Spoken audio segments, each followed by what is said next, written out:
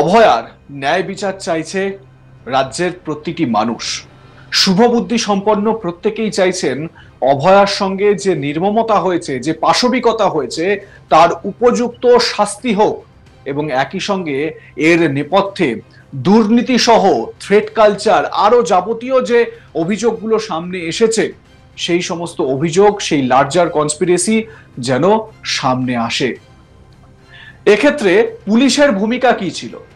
পুলিশের ভূমিকা নিয়ে স্বাভাবিকভাবে প্রথম দিন থেকেই একেবারে যখনই এই ঘটনা সামনে আসে, পুলিশের ভূমিকা নিয়ে প্রশ্ন উঠতে শুরু করে। বিশেষত টালা থানার ওসি, তার ভূমিকা কি ছিল? তিনি তার ভূমিকা যথাযথভাবে পালন করেছিলেন কি? ঠিক এই জায়গা থেকেই কিন্তু টালা থানার ওসি, তৎকালীন ওসি অভিজিৎ মণ্ডল তাকে গ্রেপ্তার করে সিবিআই এবং তাকে জিজ্ঞাসাবাদ তা- চালিয়ে যাচ্ছে। একই সঙ্গে পুলিশের যে ভূমিকা, সেই ভূমিকা নিয়ে ক্ষোভ প্রকাশ করেছেন বিরোধী রাজনৈতিক দলের নেতা নেত্রীরা। একই সঙ্গে ছাত্ররা জুনিয়র ডাক্তাররা, তারা পুলিশের ভূমিকায় সন্তুষ্ট নয়। জুনিয়র ডাক্তারদের যে কর্মবিরতির তারা চালাচ্ছিলেন, তাদের অন্যতম যে দাবিগুলোর মধ্যে একটি উল্লেখযোগ্য ছিল সিপি সেই সময়ের সিপি বিনীত গোয়েল তার অপসারণ তাকে সরানো। যদিও পরবর্তী সময়ে বিনীত গোয়েলকে তার সিপির পদ থেকে সরিয়ে দেওয়া হয় তাকে অন্য পদে স্থানান্তরিত করা হয়। কিন্তু এই বিষয়টা খুব স্পষ্ট যে এইখানে পুলিশের যে ভূমিকা, সেই ভূমিকা যথেষ্ট ফিসি এবং সন্দেহের উদ্রেক করে। এই জায়গা থেকেই অভয়ার মা, রাজ্যের মুখ্যমন্ত্রী মমতা বন্দ্যোপাধ্যায়, যিনি পুলিশ মন্ত্রীও, তার পুলিশের ব্যর্থতা, সেই ব্যর্থতা চোখে আঙুল দিয়ে দেখিয়ে দিচ্ছেন এবং গর্জে উঠছেন নিজের মেয়েকে হারিয়ে। সাগর দত্ত মেডিকেল কলেজ এবং হাসপাতালে পুলিশের সামনেই জুনিয়র চিকিৎসক ও নার্সকে মারধরের ঘটনায় এবার সরব হয়েছেন অভয়ার মা। রবিবার উনত্রিশে সেপ্টেম্বর তিনি জানান, পুলিশ তার কাজ করছে না। বারো জন পুলিশের সামনে ষোলো জন লোক গিয়ে মারধর করছে, অর্থাৎ প্রশাসন ঢিলেঢালা কাজ করছে। আর এই কারণেই এরকম ধরনের অনভিপ্রেত ঘটনাগুলো ঘটে চলেছে। অভয়ার মা জানান, আজ বাহান্ন দিন হয়ে গিয়েছে, আমি আমার মেয়েকে হারিয়েছি। কত যন্ত্রণা, কত ব্যথা সেটা মুখের ভাষায় বলা যাবে না, কিন্তু আবারও একটা ঘটনা ঘটলো। এটা খুবই দুঃখের যে ডাক্তাররা কাজের জায়গায় ফিরবে, অথচ সেই জায়গায় যদি সুরক্ষাই না থাকে, ওরা পরিষেবা দেবে কি করে?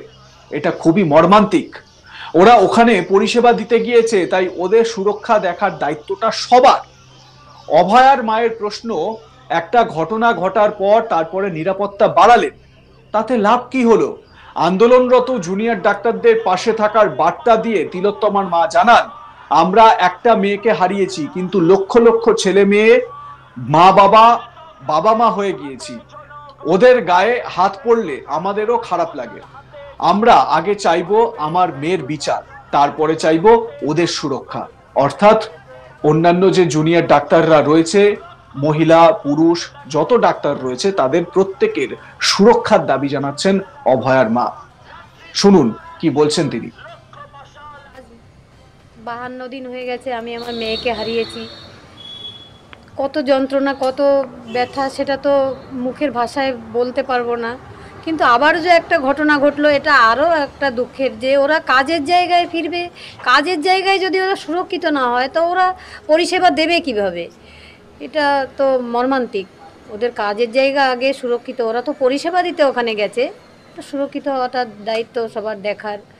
যাদের দায়িত্বে আছেন তাদের আগে ওদের মানে সুরক্ষা দেওয়া উচিত আমি মনে করি। সরকারের সঙ্গে ওরা আন্দোলন করে কিন্তু একটা চুক্তিবদ্ধ হয়েছিল যে চারটে শর্ত সরকার বেরিয়ে নিয়েছিল।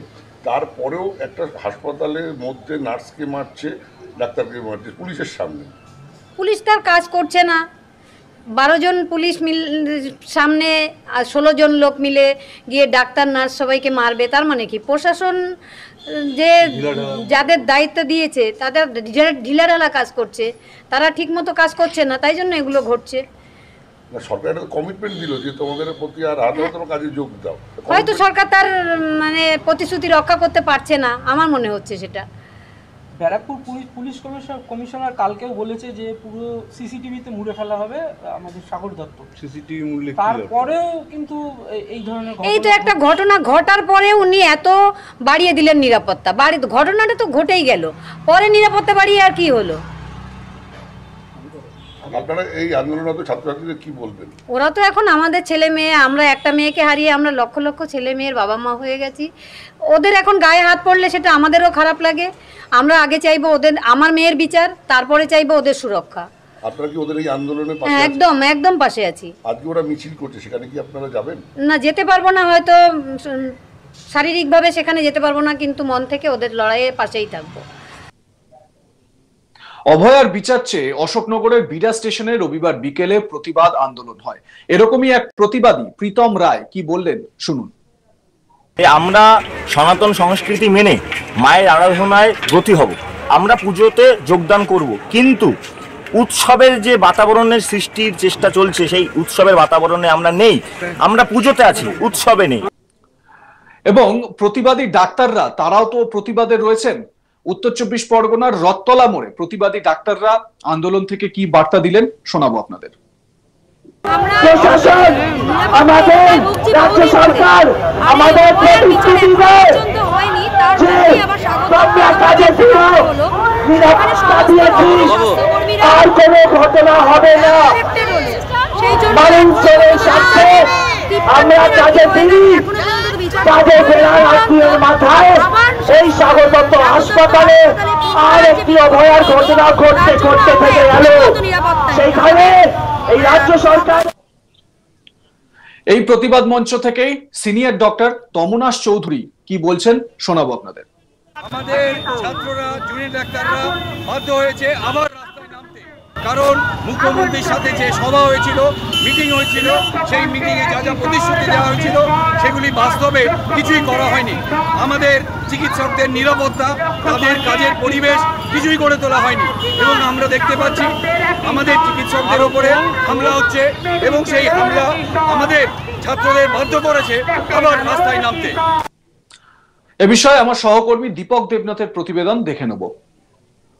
দেখো, গত নয় আগস্ট আর্যকর মেডিকেল কলেজে এই নৃশংস হত্যাকাণ্ডের পর প্রায় বাহান্ন দিন কেটে গেছে এবং ইতিমধ্যেই ফের আরেকটি ঘটনা ঘটেছে যেখানে জুনিয়র ডাক্তারদের উপরে হামলার ঘটনার অভিযোগ উঠেছে। আমরা দেখলাম যে গত শুক্রবার এক রোগীর মৃত্যুকে কেন্দ্র করে উত্তেজনা ছড়ায় এবং তারপরে সেই জুনিয়র ডাক্তারদের উপরে হামলা হয় বলে অভিযোগ। এবং ইতিমধ্যে এই ঘটনায় গোটা রাজ্য ফের একবার উত্তাল। এবং এই পরিস্থিতিতে আমরা দেখলাম যে গতকাল সাগর দত্ত মেডিকেল কলেজ থেকে একটি মশাল মিছিল বেরোয় সেই মিছিলে পা মেলান সাগর দত্ত মেডিকেল কলেজের যে যারা জুনিয়র ডাক্তাররা আছে, পাশাপাশি বেশ কিছু অন্য কলেজের বেশ কিছু ডাক্তারদেরকেও আমরা দেখতে পারি এবং সেই সঙ্গে সাধারণ মানুষকেও দেখা যায় সেই মিছিলে অংশ নিতে। এর পাশাপাশি বে- লাইক কমেন্ট শেয়ার করতে ভুলবেন না। দেখতে থাকুন আজ তাক বাংলা।